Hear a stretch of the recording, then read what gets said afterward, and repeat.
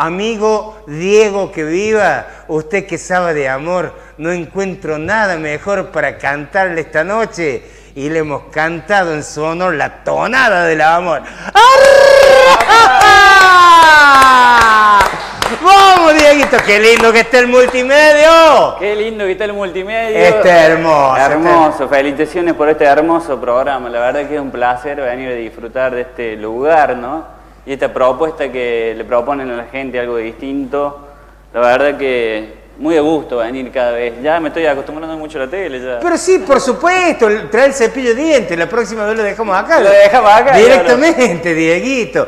Bueno, aquí está, eh, te cuento, Yanni, que él es un productor de espectáculos artísticos, también de eventos, de shows musicales, un gastronómico de pura cepa. Y bueno, y hoy nos trae aires nuevos, novedades para contarnos, como siempre, porque siempre anda resistiendo constructivamente el Dieguito. Así es, en momentos difíciles, ¿no? Como estamos ahora en pandemia, tratamos de poner lo mejor para ir de a poquito y saliendo de esto y darle un poco de color a la vida también, ¿no? Bueno. En principio quería agradecer, yo siempre agradezco a Alejandro Luna y a su familia por haber confiado en mí en un salón que se llama Sol y Luna también, ¿no? Ajá. Que uno ama, yo amo el sol y la luna, me encanta ver el sol y la luna. Siempre me gusta ver el amanecer, cuando amanece y sale el sol. Voy a entrenar a esa hora y me gusta ver hoy salir. Hay, hoy hay una luna espectacular. Sí, hoy hay una luna hermosa. Como todos los días. Sí, como todos los días. Decime, Dieguito, vos salís a la mañana a... A entrenar, sí, salgo a la mañana bien tempranito a entrenar, a ver el amanecer. Me gusta ver la salida del sol. A mí, a mí el amanecer me encanta, pero me lo han puesto en una hora muy complicada. ¿Sí? Pero, sí. Vos le volvés al digamos.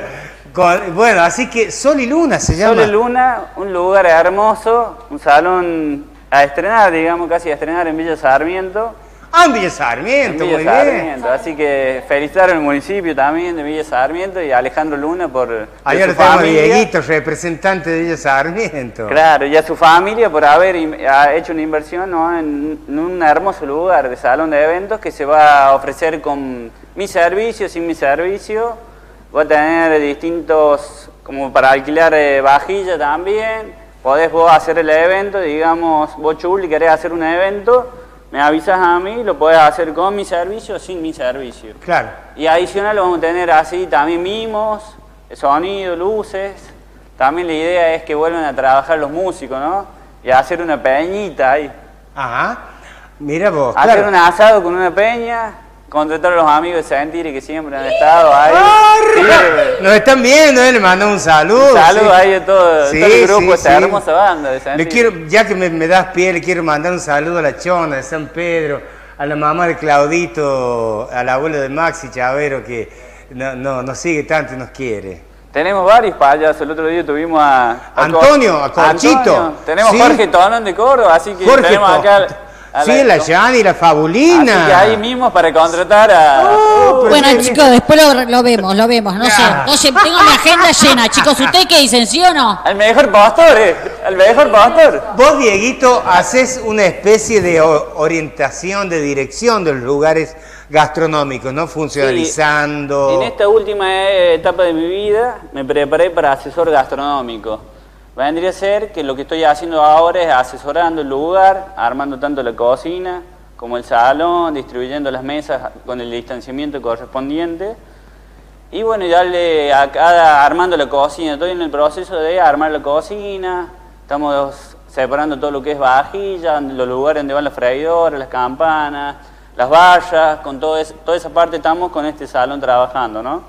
Y en esa fábrica de pasta estuve también asesorando el lugar y bueno, y lo transformé, digamos, en lo que era un bar, nocturno a un lugar familiar, así. Cambiando cada sector de tanto cocina, salón. Y bueno, todos los sectores le fuimos dando lugar familiar como lo que es hoy.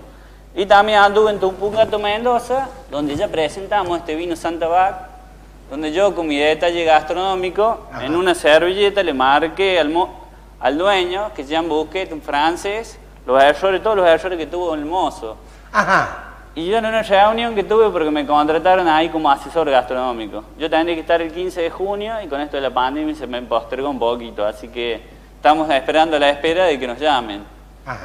Y bueno, hablando con el dueño, le marqué yo todos los errores que había tenido la moza y me contrató ahí. Bueno, tuvimos una reunión con la gente y yo le dije a todos los empleados que yo no iba a quitar el puesto de trabajo a nadie, sino iba a sumar ahí al, grupo. Entonces mi asesoría, que fueron dos días, eh, digamos que yo hablé con Lucas, que se llamaba el cocinero, y ellos tenían una bolsa llena de fruto de mar, y en mi consejo humilde le fui dando que tendría que sacar su porción justa para su ración justa de comida. Entonces, haciendo un arroz con fruto de mar, entonces tenía que pesar 120 gramos de fruto de mar cada porción, así no le tiraba al dueño y lo cuidaba al dueño para que el negocio siga funcionando.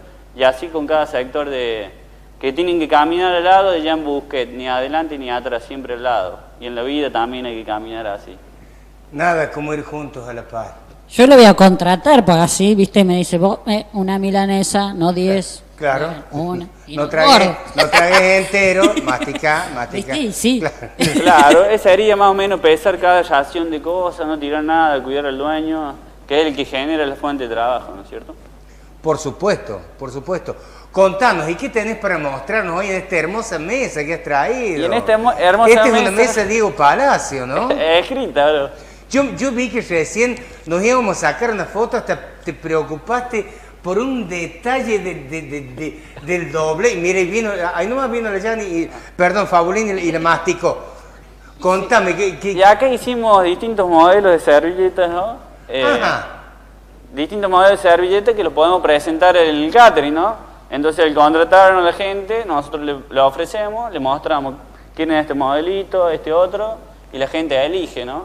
Y bueno, esa es una opción más dentro de la vajilla, la copa, la copa de champán, y el mantel, con mantel blanco, mantel negro. Tenemos varias opciones ahí, una propuesta linda en Villa Sarmiento para, para toda la detrás de la silla también, ¿no? Qué bueno que se ilumine Villa Sarmiento, que se vayan generando cosas, así tan lindo.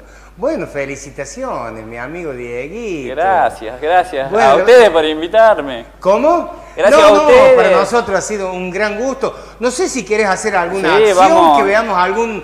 Pero ya ni Yo no tomo, chicos. Nosotros, no tomo, nosotros vamos a tomar, pero aparte quiero tomar ella. Bueno, vamos Ustedes a Ustedes saben el chin chin. Yo voy a mandar un saludo también a familia Baigorria, que el Tito, que trabajó mucho tiempo en Sendo también, así que... Ah, bueno. Un saludo, chicos, la familia. Y a mi familia, a mis hermanos, mi mamá, mi papá. a la mamá de él, a la hermana. A, todas las familias del mundo. A todas las familias. Bueno, a Ginés, que está allá haciendo el aguante de la pintada. Le mandamos saludos a Roberto y a la Cris desde Carlos Paz.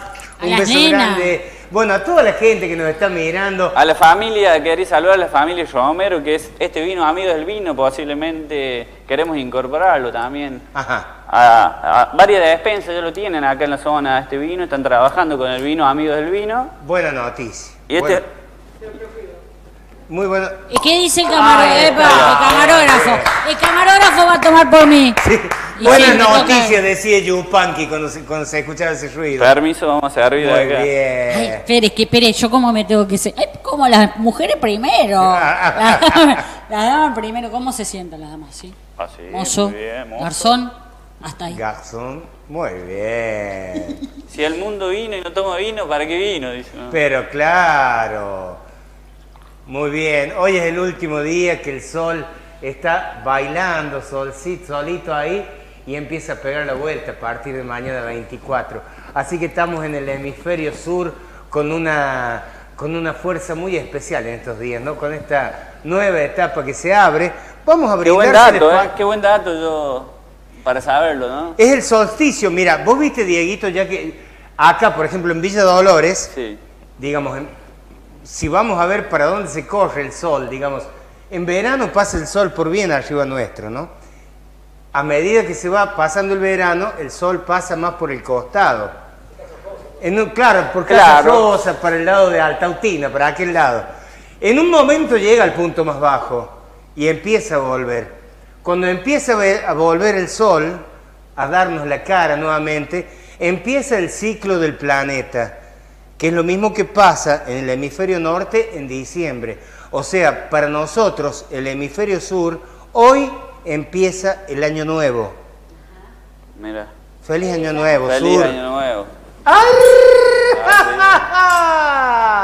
Muy bien, salud, salud, salud. Salud tras la silla. ¡Feliz Año Nuevo! Fíjate vos que incluso esto de, de esta noción, ¿no? De que, de que el hemisferio sur está abajo, es algo de lo que se puede hablar también. O sea, podríamos estar arriba tranquilamente. Bueno, está la, la geometría espacial, todo, todo, todo eso necesario. Pero nosotros podemos estar tranquilamente arriba. Es lo mismo que nos dicen, ustedes son de tras la sierra. Depende, si vos estás de allá tras la sierra. O sea, por nosotros tras la sierra es aquello. Claro. O el país trasandino. Por eso los chilenos dicen que somos transandinos y ellos también. No, Bueno, todas esas reflexiones planetarias que nos ha su- suscitado, como dice el Charlie García, hay tanta gente que ni se acuerda de que el mundo da vueltas. Pero estamos en un planeta que da vueltas y hoy empieza el año nuevo para el Qué, hemisferio lin- sur. qué lindo dato que nos das y bueno, yo siempre cuando voy a entrenar miro el sol, lo veo al atardecer y veo la luna también. Ajá. Así que me encanta toda la parte de la naturaleza, las plantas y los animales y te veo ahí que tenés una flores Sí, hermosas. Hemos traído flores del campo, Dieguito. Que yo la veo cuando salgo a entrenar, esa flor Sí. amarilla la, la veo siempre. Así Vos que, sabés que, mira, las flores amarillas, las flores amarillas tienen la floración en nuestro monte, en nuestro bosque nativo, es básicamente amarilla, la flor de espinillo, la flor de brea, la flor de la jarilla, eh, la mayoría de las flores. Y hay una razón, y es para que las abejas lleguen a polinizarlo. Bueno, no voy a profundizar hasta, hasta, hasta invitar a alguien aquí al programa que nos hable de eso debidamente.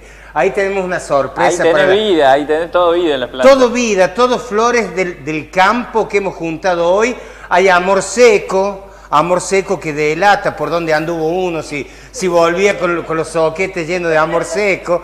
Este, tenemos un, un par de cositas, aquí tenemos palo amarillo, tenemos espinillo, que el espinillo también flora ahora en invierno. Estas son flores de invierno, son razones para seguir insistiendo que nadie se me ande entristeciendo. Miren las maravillas que tenemos.